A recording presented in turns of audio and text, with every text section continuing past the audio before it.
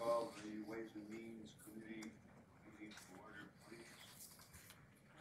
We'll join me as the pledge of the flag is started. pledge allegiance to the flag of the United States of America and to the republic for which it stands, one nation, under God, indivisible, with liberty and justice for all. Roll call, please. Mr. Stockin, Present. Mr. Fanton, Mr. Curran, Here. Mr. Decker, Here. Mr. Havey, Here. Mr. Healy, Yes. Mrs. Hopkins, Here. Mrs. Root, Here. Mr. Crandall. Eight members present. Thank you.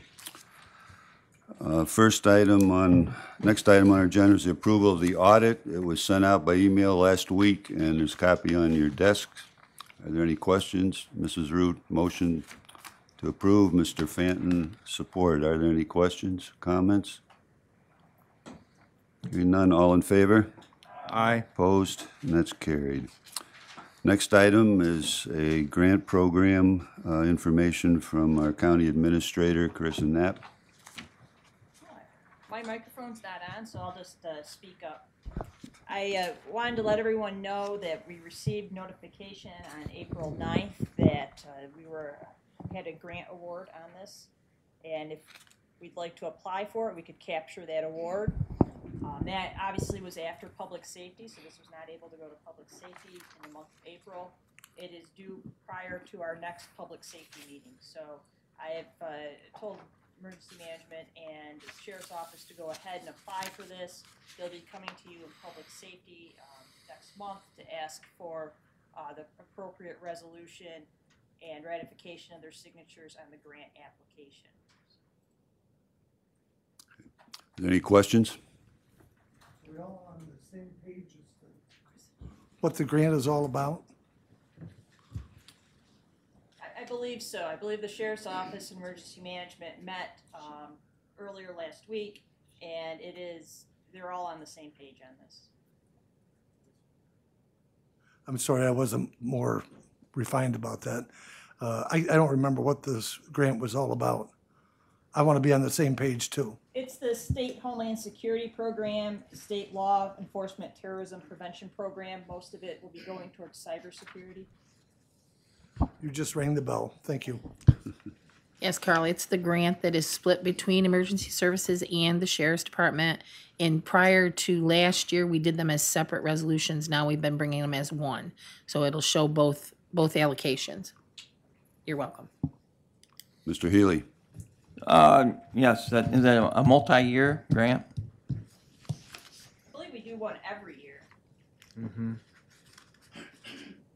I remember. Any other questions? Hearing none, uh, there's no action to take right now. That was information. Next item is referrals from committees. We'll start with personnel. Good afternoon. The Director of Real Property Tax Services, Joe Budinger, is requesting permission to fill the position of Tax Map Technician Trainee. That would be uh, grade 12, step base to 7. Uh, And I will move that. Moved by Mr. Havey. Is there support? Mr. Curran, questions? Comments? Hearing none. All in favor? Aye. Opposed? And that's carried. Item two, Mr. Budinger is requesting permission to fill one full-time senior tax map technician, which is grade six, step base to 11, and all subsequent positions, including hiring from the outside due to a retirement. And I will move that. Is there support? Mrs. Hopkins, any questions? Comments? Hearing none. All in favor? Aye. Opposed? And that's carried. Planning and Economic Development Committee, Mrs. Root. Employment and Training Director Rita Selbeck Lynch is requesting permission to fill one full-time summer youth counselor. It's a non-union, $15 an hour. This position is necessary for the counseling, coordination of services, documentation, and monitoring of approximately 65 youth at approximately 35 work sites throughout the county. The annual salary of this position is $6,825. This position is 100% funded with temporary assistant for needy family funds, and I will move that. Moved by Mrs. Root. Is there support? Mrs. Hopkins again. Excuse me. Any questions, comments? All in favor? Aye. Opposed? And that's carried. Okay, Employment and Training Director Rita Selbeck Lynch is requesting permission to fill one full-time senior employment and training counselor, grade 17, step base 7, due to her retirement. Uh, The annual, annual salary of this position is estimated between 42,000 and 53, with benefits estimated between 16,000 and 20,000. This position is 100%, is funded 100% with Department of Social Services funds, and I will move that. Is there support? Mr. Havey, questions? None, all in favor? Aye. Opposed? And that's carried.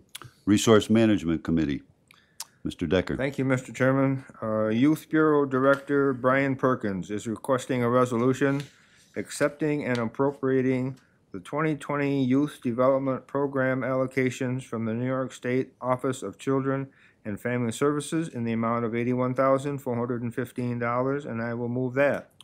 Is there support? Mr. Fanton. Are there questions? This is the detailed explanation of what Mr. Perkins shared with us at the committee meeting last week. Mr. Chairman. Uh, Brian, is that really 2020 or 2021?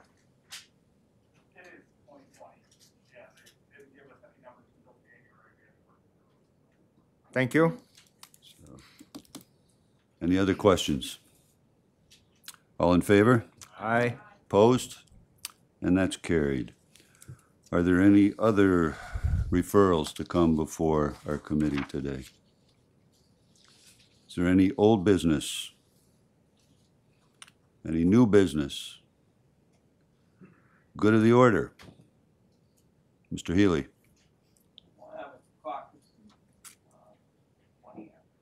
Be a caucus at one twenty. Anything else? Hearing none, I'll entertain a motion to adjourn. Mr. Decker? Second, Mr. Curran? All in favor? And that's carried. Thank you.